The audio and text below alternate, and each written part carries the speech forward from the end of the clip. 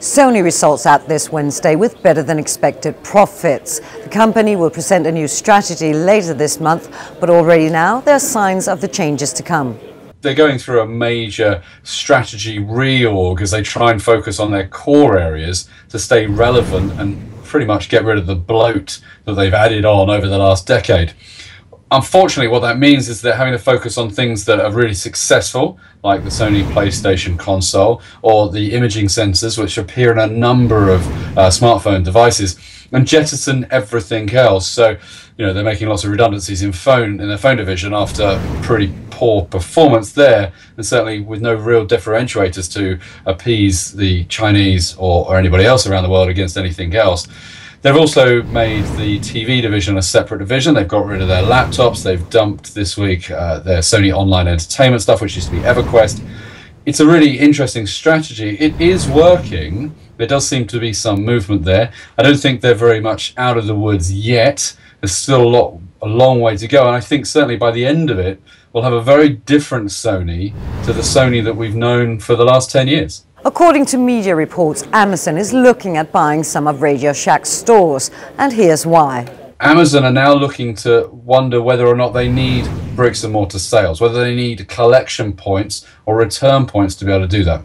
This week they opened up a, a collection store uh, which was staffed by real people. That's the key thing here in a university in the States. And they're now looking to capitalize on RadioShack's uh, bankruptcy and closure of, uh, of some four and a half thousand stores. Now, there's rumor that Sprint wants some of them, a big uh, carrier in the US, but that Amazon could use this to really catapult themselves into uh, a bricks and mortar scenario to be able to compete with the more traditional retailers like Macy's, Nordstrom, uh, and others in the US.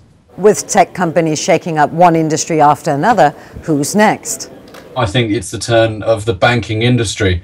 Big players like Google with their Pay by Gmail uh, feature, or Apple Pay when that starts rolling out around the globe uh, as well, will will obviously have a huge disruption factor in the traditional Visas and Mastercards of this world.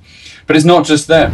It's the PayPal's, it's the iZettles, it's the Squares, it's even things like Snapchat, which most of us will see as an instant messaging service for kids, now allowing you to easily transfer money between friends and family. And I think what it shows me, certainly, and this whole democratization of tech scenario, is that places in the future won't be where we spend our money or save our money, won't be the traditional places we believe they are now, and that you and I could easily create a bank or a payment system and start offering that to our customers. And once we get sort of a sense of uh, scale from people, it becomes very easy to do.